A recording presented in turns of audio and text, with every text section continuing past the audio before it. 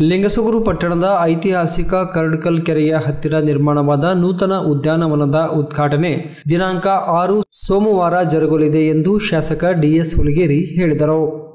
ಅವರು ಲಿಂಗಸೂರು ಪಟ್ಟಣದಲ್ಲಿ ಭೇಟಿಯಾದ ಮಾಧ್ಯಮದವರೊಂದಿಗೆ ಮಾತನಾಡಿ, ಜಿಲ್ಲಾ ಉಸ್ತುವಾರಿ ಸಚಿವರಾದ ಶಂಕರ್ ಪಾಟೀಲ್ ಮುನಿನಕೊಪ್ಪ ಅವರು ಅಂದಾಜು ಏಳು ಕೋಟಿ ನಲವತ್ಮೂರು ಲಕ್ಷದಲ್ಲಿ ನಿರ್ಮಾಣವಾಗಿರುವ ನೂತನ ಉದ್ಯಾನವನದ ಉದ್ಘಾಟನೆಯ ಜೊತೆಗೆ ಕೆಕೆಆರ್ಡಿಬಿ ಅನುದಾನದಲ್ಲಿ ನಿರ್ಮಾಣವಾದ ವಿವಿಧ ಕಾಮಗಾರಿಗಳಿಗೆ ಉದ್ಘಾಟನೆ ನೆರವೇರಿಸಲಿದ್ದಾರೆ. ಅದರಲ್ಲಿ ಉರ್ದು ಪ್ರಾಥಮಿಕ ಶಾಲೆ ಗೌಳಿಪುರದಲ್ಲಿ ನಾಲ್ಕು ಹೆಚ್ಚುವರಿ ಶಾಲಾ ಕೊಠಡಿ ಕಾಮಗಾರಿ, ಸರ್ಕಾರಿ ಪದವಿ ಪೂರ್ವ ಪ್ರೌಢಶಾಲಾ ವಿಭಾಗದಲ್ಲಿ ಮೂವತ್ತೊಂದು ಲಕ್ಷ ಮೊತ್ತದ ಎರಡು ಶಾಲಾ ಕೊಠಡಿ ಹಾಗೂ ಬಿಇಒ ಕಚೇರಿ ಹತ್ತಿರ ಮೂವತ್ತೈದು ಲಕ್ಷ ವೆಚ್ಚದ ರಂಗಮಂದಿರದ ಕಾಮಗಾರಿ, ರಾಷ್ಟ್ರೀಯ ಯೋಜನೆ ಅಡಿಯಲ್ಲಿ ಪಟ್ಟಣದ ಪೊಲೀಸ್ ಠಾಣೆಯ ಪಕ್ಕದಲ್ಲಿ ನಲವತ್ತೆರಡು ಲಕ್ಷ ವೆಚ್ಚದ ನೂತನ ಪಶು ಆಸ್ಪತ್ರೆ ಉದ್ಘಾಟನೆ ಮತ್ತು ಸಂಜೆ ನೂತನ ಉದ್ಯಾನವನದಲ್ಲಿ ನಗೆ ಹಬ್ಬ ಸಾಂಸ್ಕೃತಿಕ ಕಾರ್ಯಕ್ರಮಗಳು ಜರುಗಲಿದ್ದು, ಕ್ಷೇತ್ರದ ಜನರು ಹೆಚ್ಚಿನ ಸಂಖ್ಯೆಯಲ್ಲಿ ಆಗಮಿಸಿ ಕಾರ್ಯಕ್ರಮಕ್ಕೆ ಶೋಭೆ ತರಬೇಕೆಂದು ಅವರು ವಿನಂತಿಸಿಕೊಂಡರು.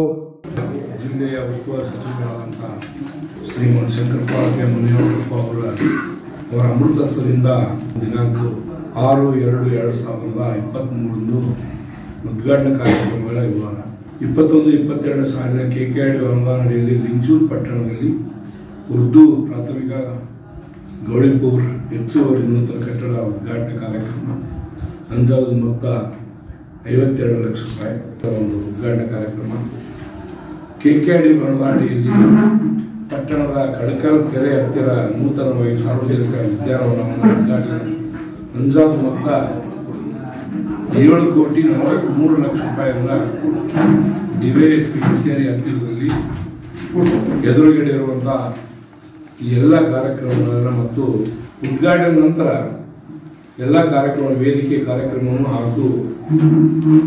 ನಗೆ ಹಬ್ಬ ಕಾರ್ಯಕ್ರಮಗಳನ್ನು ಸ್ಥಳೀಯ ಡಿವೈಎಸ್ಪಿ ಕಚೇರಿಯ ಎದುರುಗಡೆ ಕಡಕಲ್ ಕೆರೆ ಹತ್ತಿರದಲ್ಲಿ ಸಮಸ್ತ ಒಂದು ಡಿಂಗಸೂರು ಪಟ್ಟಣದ ಎಲ್ಲ ನಾಗರಿಕರು ಮತ್ತು ಕ್ಷೇತ್ರದ ಎಲ್ಲ ಮುಖಂಡರು, ಎಲ್ಲ ವಿದ್ಯಾನವನವನ್ನು ಒಂದು ಉದ್ಘಾಟನೆ ಕಾರ್ಯಕ್ರಮದಲ್ಲಿ ಭಾಗವಹಿಸಿ ಎಲ್ಲ ನಮ್ಮ